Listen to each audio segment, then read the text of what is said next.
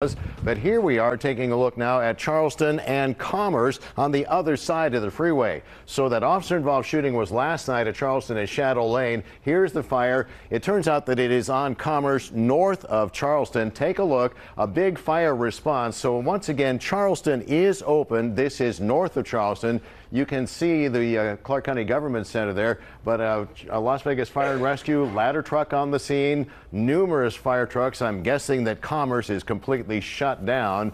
We have a reporter on the way to the scene, and you can see the railroad moving along. Downtown is fine, but again, Commerce closed north of Charleston. We're trying to figure out if they've called a second alarm. We're trying to figure out what that building is, but we'll keep you posted. Meantime,